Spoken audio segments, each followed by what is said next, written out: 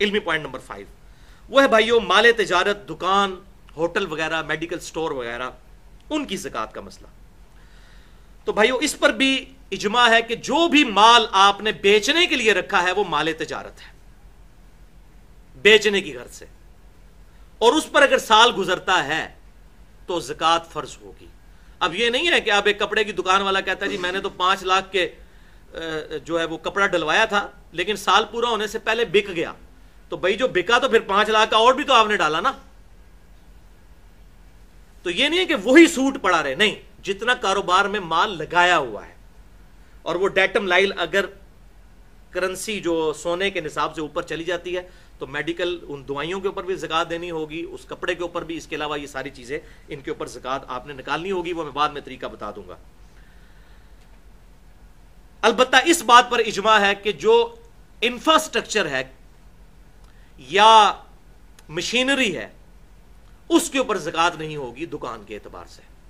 अगर किसी की दुकान है, जैसे हम ये लेथ मशीन रखी होती है, हम खरादिए कहते हैं जिनको तो लेथ मशीन की कीमत के ऊपर जक़ात नहीं होगी। इसी तरीके से रेंट कार के ऊपर गाड़ी किसी ने दी हुई है तो उस गाड़ी के ऊपर जक़ात नहीं होगी, उसकी माल की कमाई पे होगी। क्योंकि उसकी डिप्रेसिएशन डिप्रेसिएशन भी हो रही है, उसकी कीमत वक्त के साथ साथ कम हो रही है।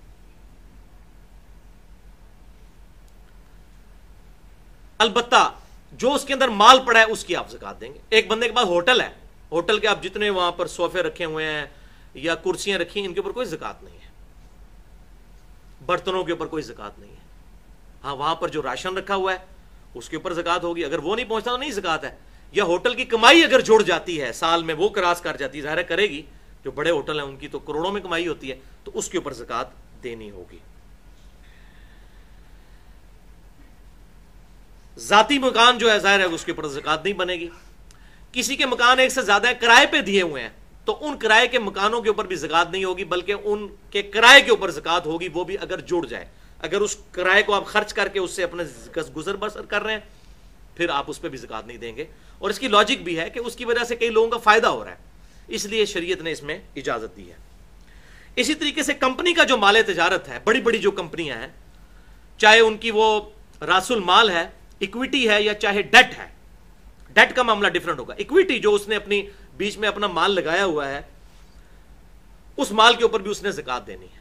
अगर उसने कर्जा वगैरह उठाया हुआ है तो उस डेट को उसमें से माइनस कर देंगे। वो आगे मैं तरीका भी बता दूँगा इंशाला लेकिन जो उसका अपना रासुल माल है इक्विटी उसके अंदर जो उसकी लगी हुई है दस करोड़ या बीस करोड़ उसके ऊपर उसने जक़ात निकालनी होगी।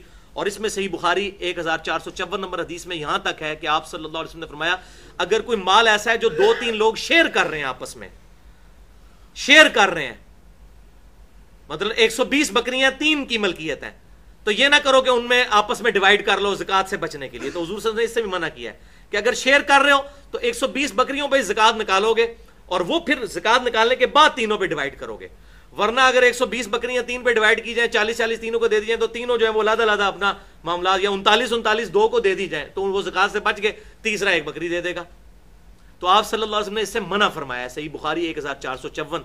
इसी के तहत मैं वो कह रहा हूँ, ये कहते हैं जो बच्चों ने ना कर देता छह छह तोले तो उसकी ये दलील भी बन गई कि इस तरीके से नहीं कर सकते।